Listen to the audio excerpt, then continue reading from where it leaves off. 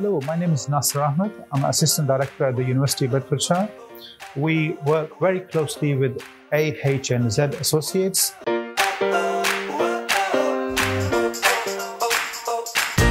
They have offices both in London as well as in Bangladesh.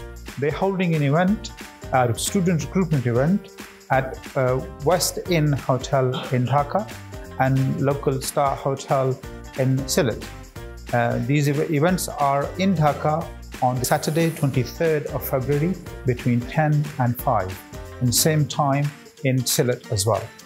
Hello, my name is Liam Stott, International Marketing Officer at the University of Bedfordshire. Um, so, why should you come to study at the university? Well, first of all, we have a fantastic location where we are only 30 minutes away from central London by train. We have campuses in Luton, which this is the closest campus to London, also in Bedford and Milton Keynes for our international students. We have a very generous international scholarship scheme for undergraduate students up to £1,500 and for our postgraduate students up to £2,000.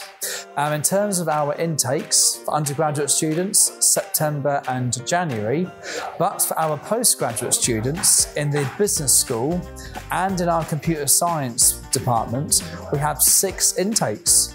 So September, November, January, March, June, and July.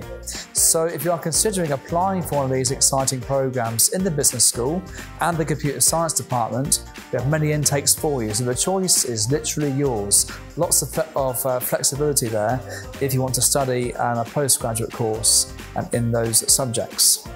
Um, the university also has a fantastic personalised international support service where we give you advice about visas. If you've got any personal issues, you can speak to our staff and we give you lots of information at the international office.